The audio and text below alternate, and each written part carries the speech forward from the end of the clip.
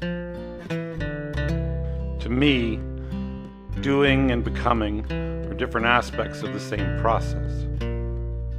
I spent 40 years building the dream homes of wealthy New Yorkers. In part, How to Build Impossible Things is the story of the satisfaction and aggravation my long and demanding career has brought me. But more importantly, it's the story of the impossible things life asks of all of us. What are we to do with the 10,000 mornings we will wake up, go into the world, and make our way?